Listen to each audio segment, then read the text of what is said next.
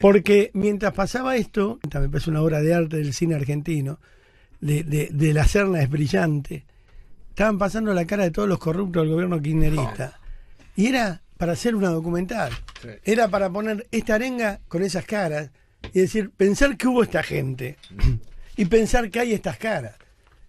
Esa es mi bronca y esa es mi lucha de tantos años en la radio pensar que hubo esta gente y pensar que hay estas caras. Esa es mi bronca. Cuando a mí me dicen, ¿por qué puteás? ¿Por qué carajeás? ¿Por qué te enojás? Digo, porque hubo esa gente, San Martín, Belgrano, Sarmiento, y hay, estas caras, estos sinvergüenzas, estos caraduras que le dicen nada a la vida. Eve de Bonafini, Esteche, Delía, Cristina, el hijo, la hija, la cuñada, toda esta manga de turros, esta manga de sinvergüenza, los de la Rúa, Aito, Antoñito, este, este Gallo, todos estos que hicieron mierda a la Argentina, todos estos que nos dejaron en este barrial, cuando hubo gente que puso los huevos. ¿Escuchaste el sonido del sable del general?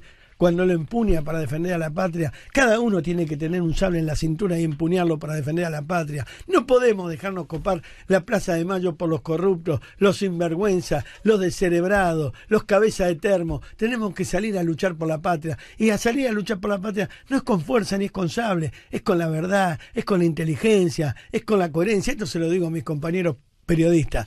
Puede vender la defensa de Cristina, puede vender la defensa de Esteche, Puede vender la defensa de Elías, pero no salgan a vender, salgan a comprar honestidad, muchachos, salgan a contar lo que pasó, pongan las pelotas arriba de la mesa, los jueces empuñen el sable de la realidad, los presidentes empuñen el sable de la verdad, vamos por la patria, realmente no es una arenga, lo digo de corazón, me emocionó, escuchando por un lado supuestamente la voz de Tactorazo siendo de San Martín, con la arenga a las tropas y por el otro lado iban pasando por la tele la cara de los corruptos uno a uno y decía, ¿cómo nos pudimos haber degradado tanto genéticamente? ¿Cómo nos pudimos haber caído tanto? Pasar de, de, de, las, de las patricias que bordaron la bandera a la porota que la cagó y la ensució, las madres de la plaza que lucharon por sus hijos, a la corrupta Debe de Bonafini.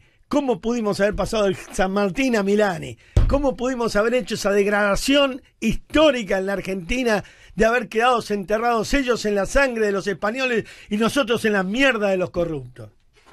Fabi Echecopar, en Radio 10.